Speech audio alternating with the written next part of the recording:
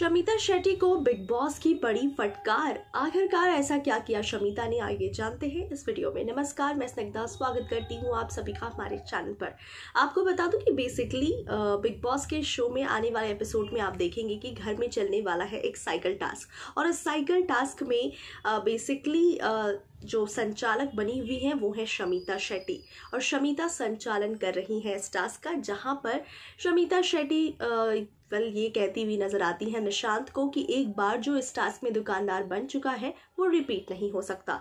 और इसी के साथ अब आपको बता दूँ कि वेल दुकानदार रिपीट ना होने की वजह से अब ये बातें निशांत और शमिता के बीच होने लगी, जहाँ पर निशांत और शमिता की बहसबाजी। होने लगी है।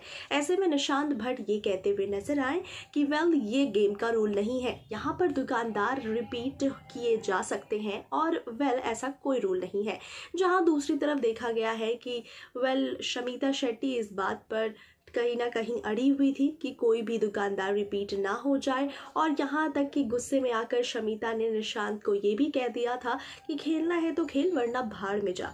तो वैसे में अब आपको बता दूँ कि कुछ ही देर बाद जब इन दोनों की बहसबाजी काफ़ी ज़्यादा बढ़ गई तो बिग बॉस ने किया एक ज़बरदस्त अनाउंसमेंट जहाँ पर बिग बॉस ने ये बताया कि शमिता अपने ही गेम्स के रूल बना रही हैं, जो कि गलत है। ऐसा कोई रूल नहीं है कि दुकानदार रिपीट नहीं हो सकता है।